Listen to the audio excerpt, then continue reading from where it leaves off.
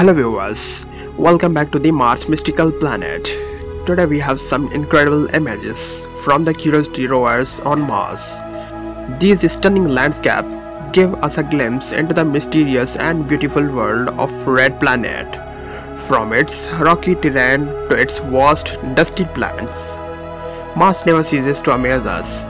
The Curiosity rover has been exploring Mars since 2012, sending back incredible photos that help scientists learn more about our neighboring planet. Each image tells a story of Mars history and its potential for future exploration. If you enjoyed these images, make sure to like and subscribe and hit that bell icon for more amazing discoveries from the Red Planet. And let us know in the comments which, of, which part of Mars you would love to explore.